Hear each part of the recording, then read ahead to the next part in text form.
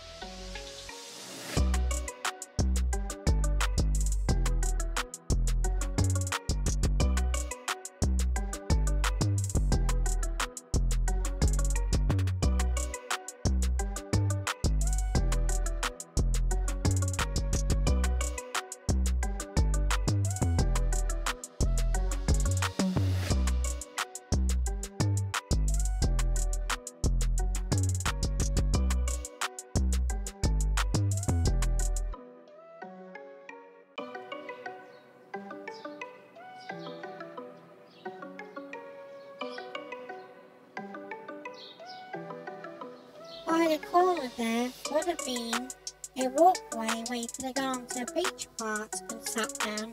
In Avakin life, that was not the starting.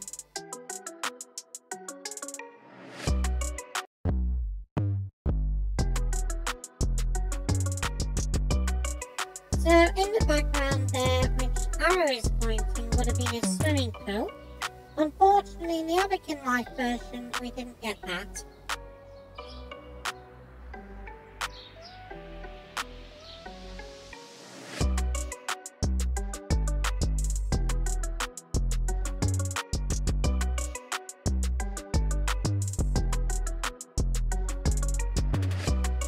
So in the PlayStation Home version, this building was slightly different and it was more open though. In the Avakin Life version, we did not get the opportunity for that. Also, you cannot swim in the sea like in the PlayStation Home version.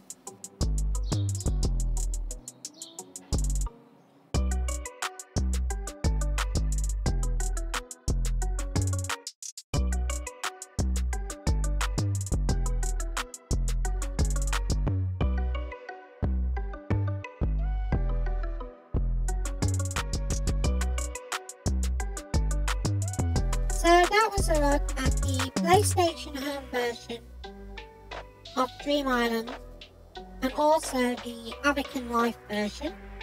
Unfortunately, PlayStation Home closed its doors on the PlayStation on March the 31st, 2015.